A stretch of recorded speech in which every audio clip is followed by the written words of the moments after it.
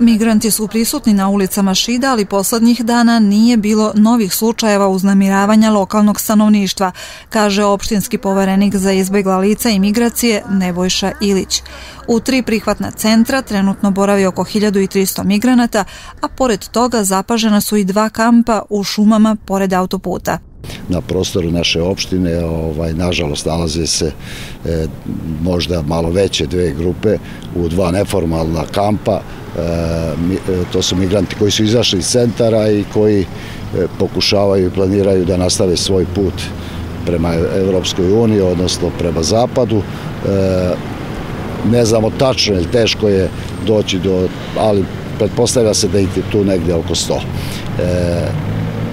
Naša policija, odnosno e, pripadnici e, Ministarstva unutrašnjih poslova znaju za to, kontrolišu, prate i na neki način ne dozvoljava se da ti ljudi koji e, borave u tim šumama ovaj, ne prave neke probleme našim građanima koji, kao što se očekuje ovih dana, kreću jel, u svoje proletne poslove, u pripremu zemljišta. U prihvatnom centru Šid stanica smeštene su migrantske porodice.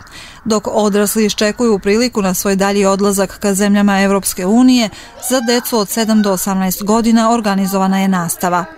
Trenutno u prihvatnom centru Šid boravi 139 lica, od toga 49 porodica.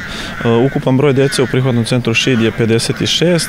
Sva deca uzrasta od 7 do 14 godina su uključena u osnovno školsko obrazovanje. E, škola se odvija online, deca pohađaju školu Branko Radičević i Sremski front kao i gimnaziju Sava Šumanović.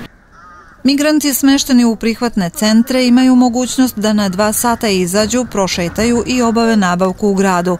Za to dobijaju potvrdu, a po povratku obavezni su da se prijave.